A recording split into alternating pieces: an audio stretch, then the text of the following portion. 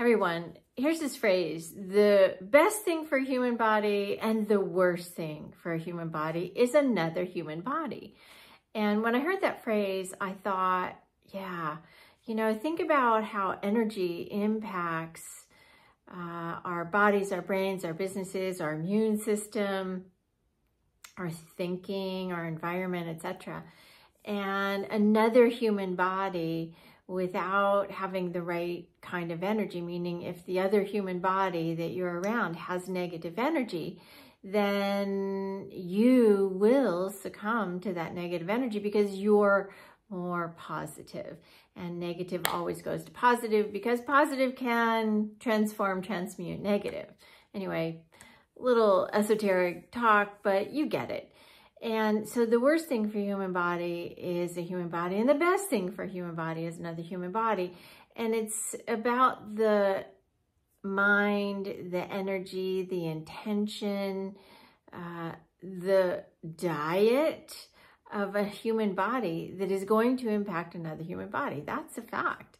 Um, the healthier a human body is, the easier it is for uh, for it to be around more uh, challenged human bodies. So let's just say most people don't like to go to a hospital.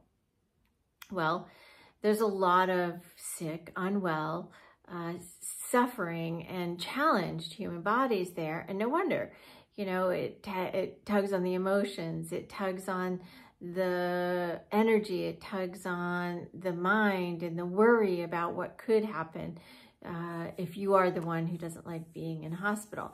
And the interesting thing about the human body is that as you take care of your human body, physically, mentally, emotionally, spiritually, relationally, financially, the six wheel process that I use when I help people get to that next level is you are able to handle more and more and more. And more importantly, the success of your life improves. There's a statistic that says that uh, people who run, who are runners, tend to have more success.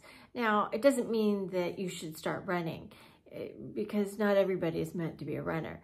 However, it is a body in motion, stays in motion, meaning it can shed and uh, disseminate junky, old, negative energy. Meditation can help by this.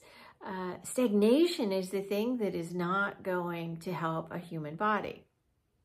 Two human bodies being stagnant is even more dangerous. So the thing about you being human is, is you get responsibility for yourself, where you're going, what you're doing, how you take care of your body, your mind, your energy, and also how you take care of your environment. And that requires you to have presence and groundedness and awareness and awakeness and intention. And the challenging thing that we face as we move through our life is we forget to be intentional about taking care of ourselves and living and, and not just working. So think about your human. Take good care of your human. Be a good human to your human and you will find that you thrive and succeed more and more and more. I was talking with a client the other day and he said to me, oh, I get sick a couple of times a year and that's normal. The truth of the matter is it's not normal. Uh, it is not normal. And so take that with you and think about what are you doing for hu your human body to shore it up physically, mentally, emotionally, spiritually, relationally, and yes, financially, because all of those play into that next level, into your success.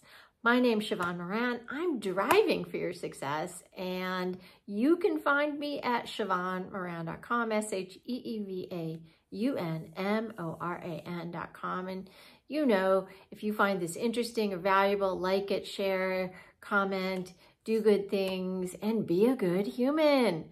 Talk soon.